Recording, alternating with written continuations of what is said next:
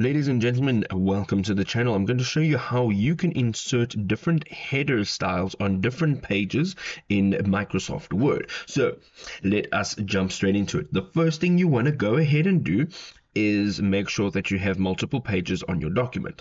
Now from here, you can see if I um, double tap on the very top of this page, I can include a header.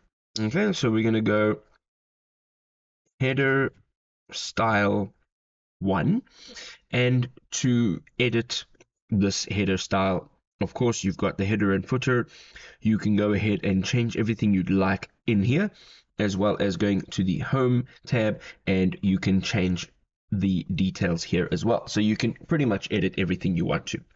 So if we double click anywhere else on our page you will see if we go down here is a header style one. Okay so what we want to do is we want to change this to a different style. So what we're going to do is leave our cursor um, just after the last line of our previous page.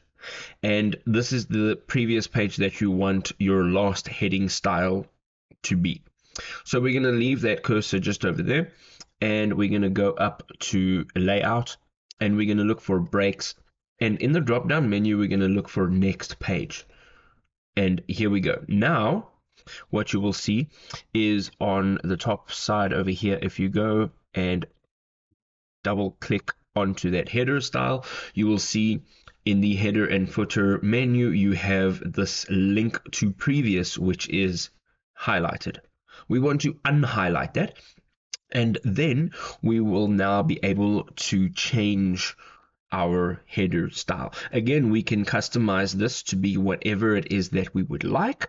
And when we're done, we can just hit the close header and footer, or we can just double tap on our page. Now, if you go down here, you will see that this is now the previous style that we just implemented. So again, if we want to change the style, we can just leave our cursor over there.